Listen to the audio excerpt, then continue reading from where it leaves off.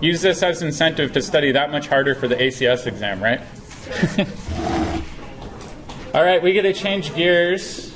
We were going over aldehydes and ketones. Now we're going to go into a different class of carbonyls, the carboxylic acids. Before we dive into chemistry, I want to go through naming.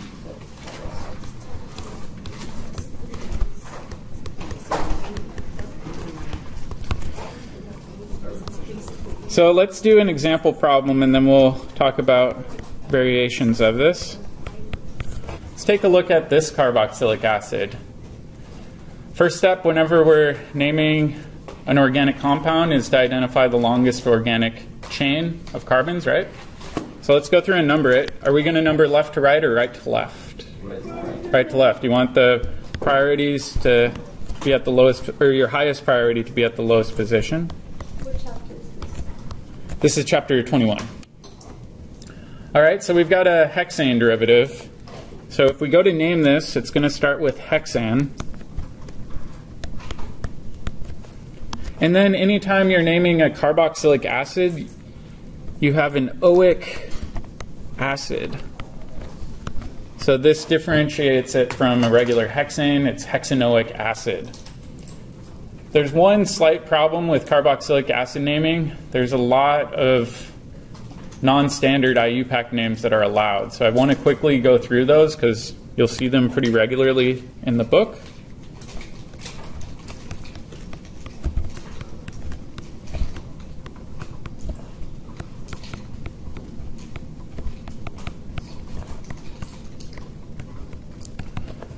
And we'll see if you guys can come up with the names of any of these without me telling you. Does anybody know what the name of this would be? Formic acid, right? We've got that formate group coming off there. So this is formic acid. When I was a kid, I remember going around in the yard and um, squeezing ants because apparently I was an awful kid. Um, and if if you do that, you can actually smell your hands, and they smell awful. Ants use formic acid um, in their whatever, but it's very very pungent and stinky. So if you ever do squish, squish an insect and you smell that really astringent smell, it's usually formic acid. The next one, sorry, I'm not up to date on my biology with insects. The next one is this one where we've got a CH3 group on there. What's this called? Acetic acid, also known as vinegar. So acetic acid's pretty common.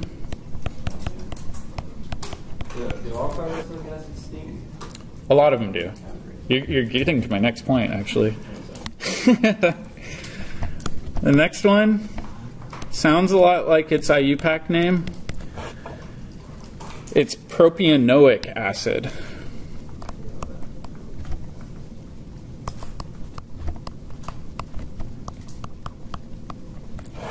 And I think they just named it this because it sounds weird to say propioic acid. So propionic acid flows a little bit better. The next one is closely related. It's got one extra carbon on there. This is called butyric acid. Has anybody watched the show Whale Wars? No, it was kind of a short lived fad, but it was about um, they weren't Greenpeace, it was another group, but they were protesting whaling in the Antarctic region. And so what they do is they go up to these Japanese research vessels and they throw these bottles at them. And the bottles were full of butyric acid. It is incredibly pungent. Like it is enough to clear a room. And so their strategy was if we nail their ship with this enough, they won't come outside and do any whaling. So yeah, these are pretty stinky. the next one You guys know this already. Quick quiz benzoic acid.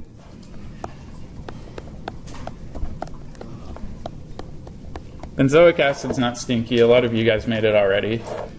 Uh, these aromatic compounds or the higher molecular weight carboxylic acids are so heavy and so non-volatile that you oftentimes can't even smell them. Whoops. The next one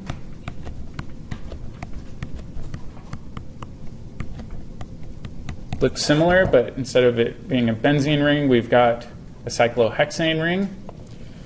So we just call this cyclohexane carboxylic acid.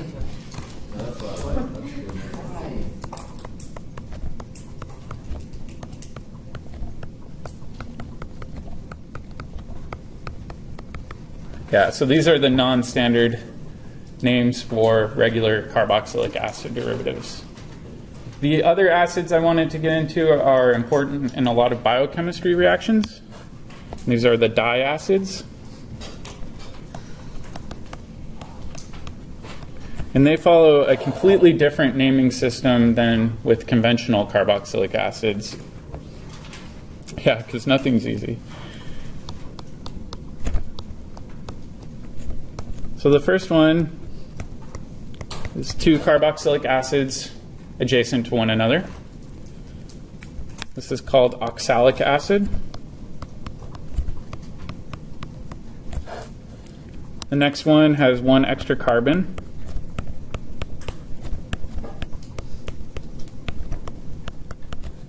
This is called malonic acid.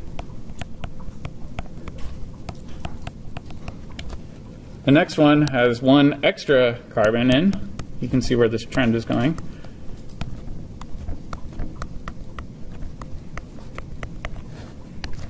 This is called succinic acid.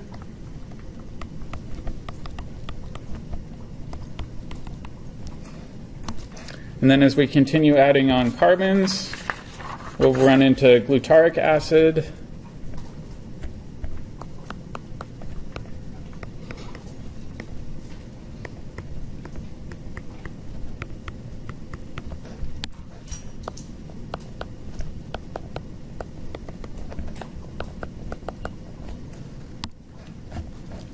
And then hopefully you guys remember this one.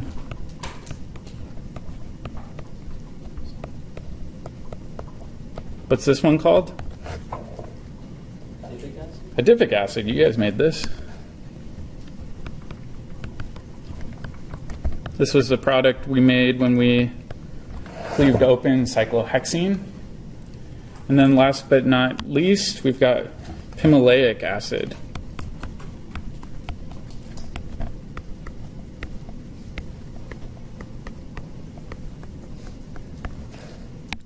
You may be wondering, how am I supposed to remember these?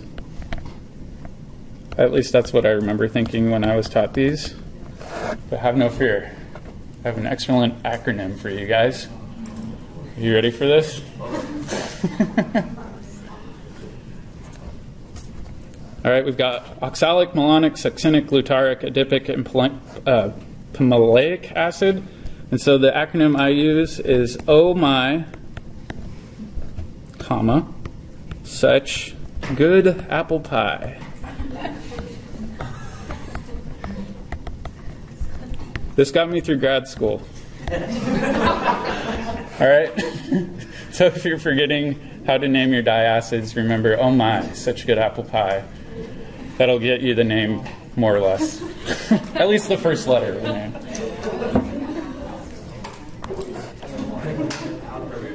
All right, I think that's more or less where we're going to stop with naming today. We're going to go back and we're going to talk about how to name carboxylic acid derivatives. Um, they all have different naming schemes, but um, don't overcomplicate things. Just try to use the oic acid suffix anytime you're dealing with the carboxylic acid, with the exception of these kind of oddball names. Carboxylic acids are pretty unique functional groups. So let's talk a little bit about their structure and property. Whoop.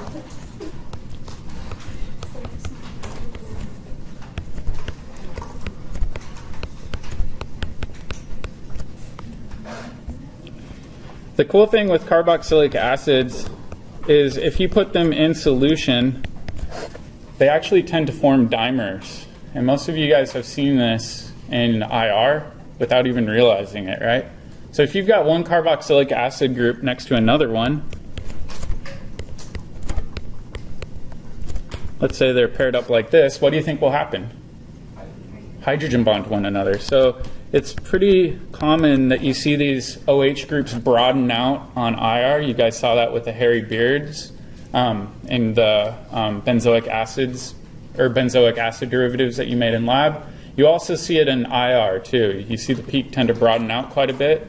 Where do carboxylic acid peaks show up on proton NMR? Does anybody remember? Like 3600. You're thinking of IR. Oh, yeah.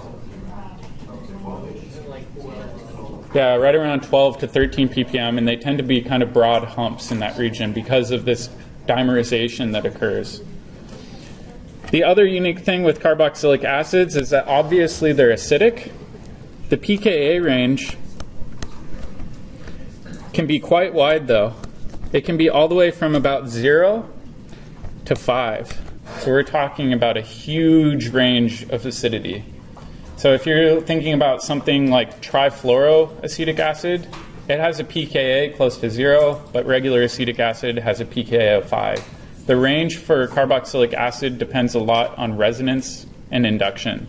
So remember, it's affected by resonance and induction. So it doesn't have a very reliable pKa range. Just be aware of um, what it's attached to. Uh, carboxylic acids do a lot of really unique chemistry, and so we're going to spend a big chunk of the chapter talking about new types of reactions. But before we do that, let's talk about some of the old uh, preparation methods we have. Is it okay if I move on?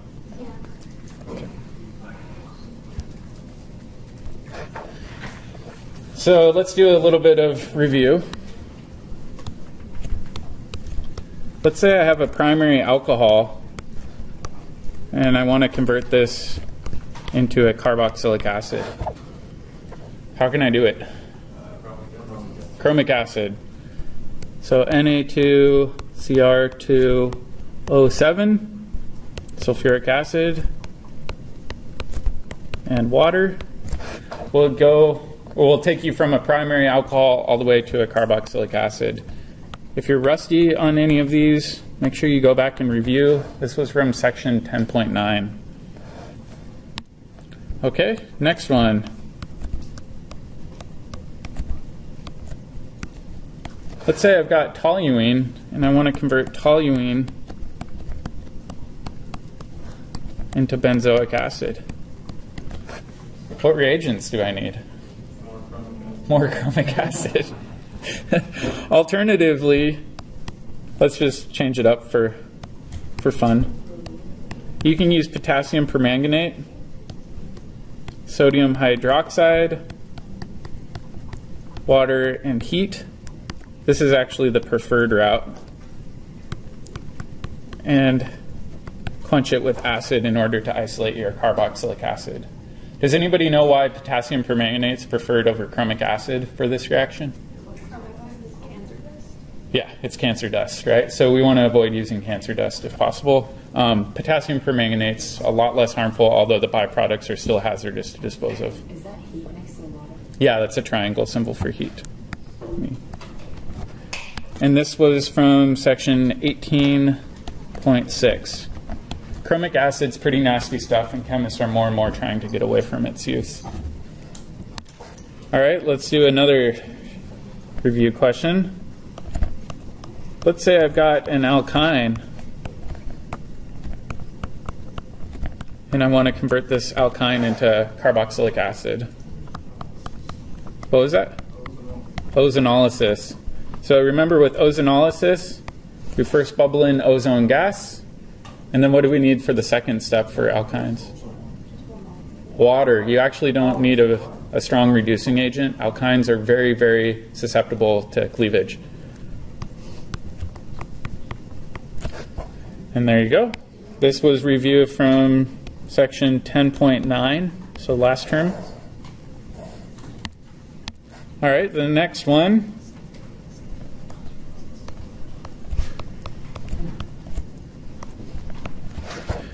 we can have a nitrile and we can hydrolyze this all the way to the acid. And what do we need to do this? Not quite. This was from the cyanohydrin portion of last chapter. We said we can make a cyanohydrin and then convert that nitrile to a carboxylic acid. Does anybody remember what reagents we need? Acid, acid and heat, exactly. And you're going to do this mechanism on your pod, um, but it's very, very similar to all the mechanisms we saw last term. So it's going to involve a lot of proton transfers, nucleophilic attacks, kicking off a leaving group, things like that. All right, the last one is let's say we have benzaldehyde, and I want to convert benzaldehyde into benzoic acid.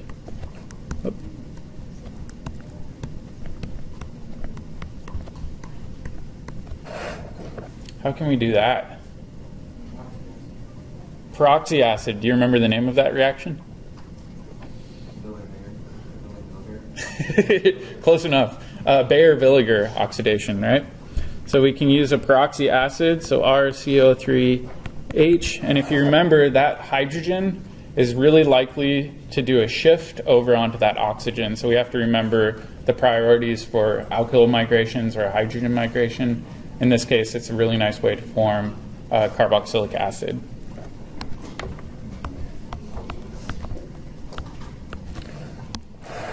All right, there's one new method that we're going to cover. It's a pretty simple method.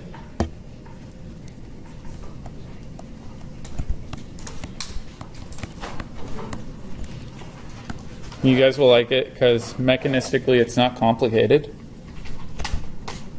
This method involves use of a Grignard reagent. The first step that you do is you take dry ice, you can buy it from Fred Meyer or wherever, Toss it in your reaction flask, get it bubbling, let it continue to bubble until all of your Grignard's quenched and gone. Then when you're done, you treat it with acid, and all of a sudden you've got a brand new carboxylic acid. So let's try to rationalize what's going on in this mechanism.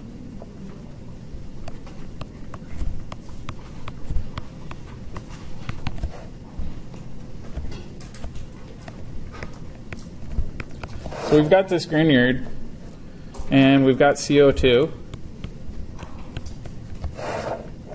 And if you remember, the Grignard reagent that we have has this super polarized bond.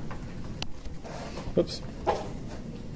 Where all of the electron density is getting sucked over to that carbon. So this carbon is going to be a really good nucleophile. And we can think of carbon dioxide, in this case, acting as an electrophile. So the carbon can attack the carbon in the carb or the carbon on the dry ice, can kick up electrons onto this oxygen.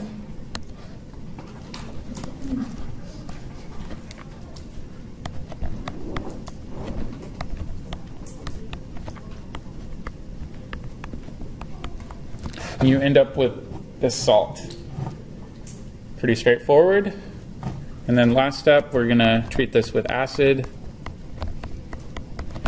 in order to get our neutral carboxylic acid salt, or neutral carboxylic acid instead of the salt. So can you kind of think of CO2 as like a, double aldehyde ketone Because the way it's, if you look at the structure, it's kind of the same thing that happens with normal attack on aldehyde. Yeah, that's a good question. It's pretty hard to do a nucleophilic attack on CO2. It's not a great electrophile. It's very, very stable, which is a part of the problem with global warming, obviously, is people have tried and tried and tried to figure out how can we convert CO2 into a useful molecule. It's not very practical to use Grignard reagents to do that, though, unfortunately. This is one of the only reactions where you see CO2 used, at least in the Klein textbook. Make sense? All right, let's continue on. I think we've got 10 more minutes, and we'll talk a little bit about reactions of carboxylic acids. And one of these is a review reaction, but we didn't really cover the mechanism. I kind of glossed over it, and we hand waved our way out of it.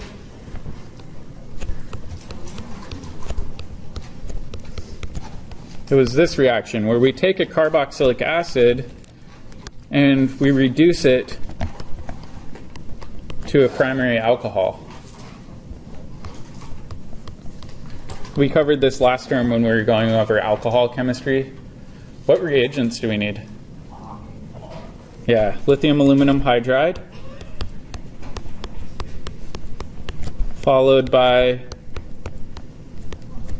weak acid in order to reprotonate that alcohol. Let's actually take a look at the mechanism now, because it's more involved than the mechanism uh, we saw last term.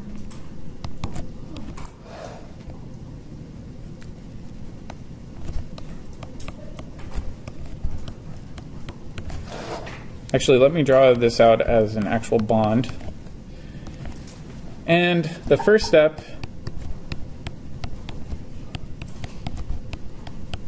is pretty straightforward.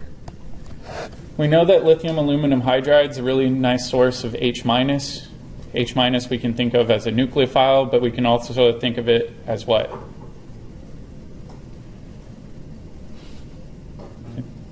H minus hydride it's a good nucleophile, but also strong base, right? We've got a carboxylic acid, we've got a strong base. Fastest reaction in chemistry is going to be a proton transfer. So this hydride will immediately deprotonate our carboxylic acid and we'll bubble some H2 gas off. Okay, now that we've done that, we need another equivalent of lithium aluminum hydride.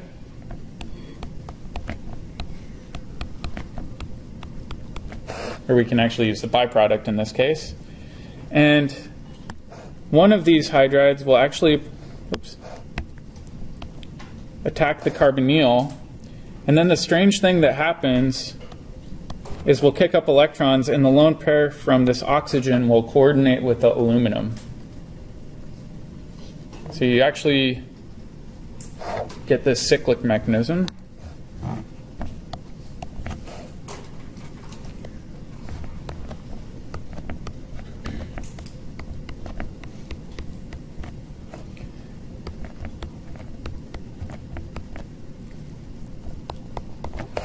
Now that we've got this, this is actually a decent leaving group.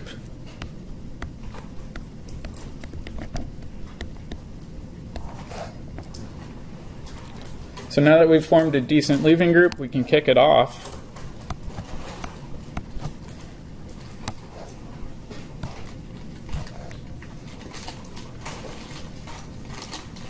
And we can reform a new CO double bond.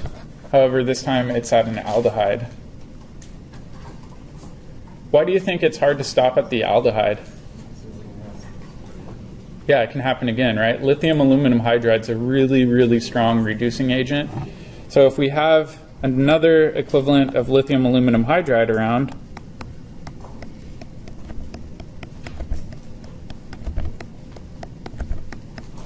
we can have attack by one of these hydrides kick up electrons onto that oxygen.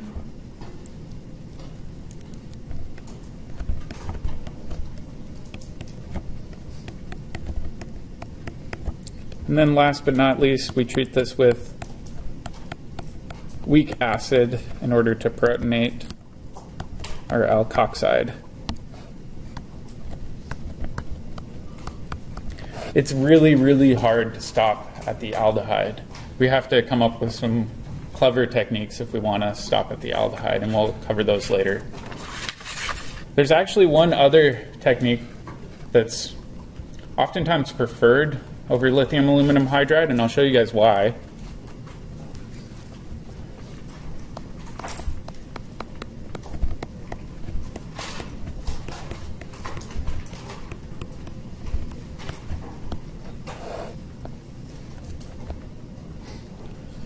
So let's say we've got this generic carboxylic acid, and I want to go to my primary alcohol. I can actually treat it with a reagent that looks pretty familiar. This borane THF complex. Actually move this arrow down.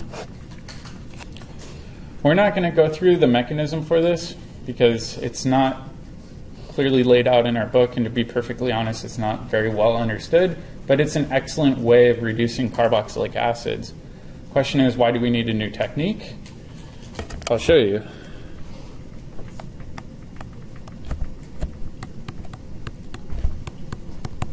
Let's say we've got this compound.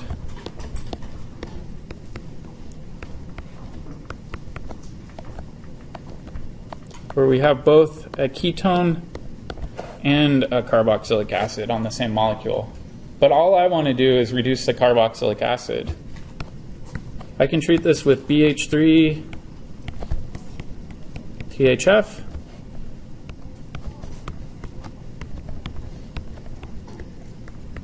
And I can reduce this carboxylic acid all the way down to a primary alcohol without touching the ketone at all. It gets more into the mechanism that is kind of beyond the scope of the course, so we're not going to get into that. The, the biggest thing to remember is that the borane THF complex is exclusively going to reduce your carboxylic acid. It won't touch other functional groups which is nice if you're looking to selectively make reductions in your compound. So, not reduced. Let's make a little note.